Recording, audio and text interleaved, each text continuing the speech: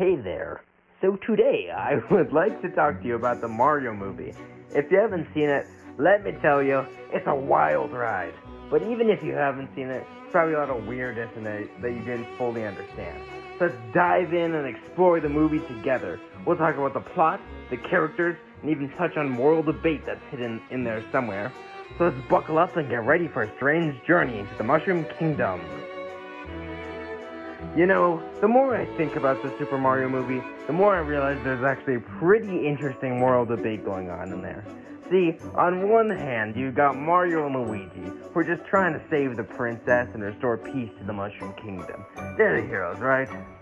But then, you've got Bowser, who's just trying to, like, change the environment or something.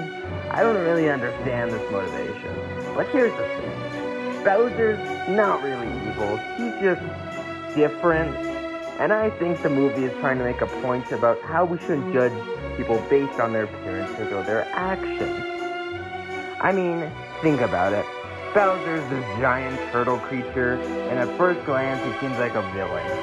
But then you learn more about him, and you realize that he's just trying to do what he thinks is best for his people.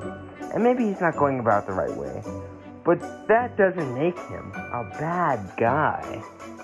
So, the question becomes, is it right for Mario and Luigi to try to defeat Bowser and undo everything he's done?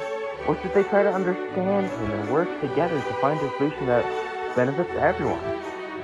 I do not know if there is a right answer here. On one hand, it's important to stand up for what you believe in and fight against injustice. But on the other hand, it's also important to listen to other people's perspectives and try to find common ground. In the end, oh, oh, I think the Super Mario movie is trying to teach us that there's always more than one side to a story, and that we should try to see things from other people's perspectives before we rush to judgment. And I think that's a pretty important lesson, no matter how weird or directionless the movie may seem on the surface. That's all for now. Shut up. Bye bye, my little memer.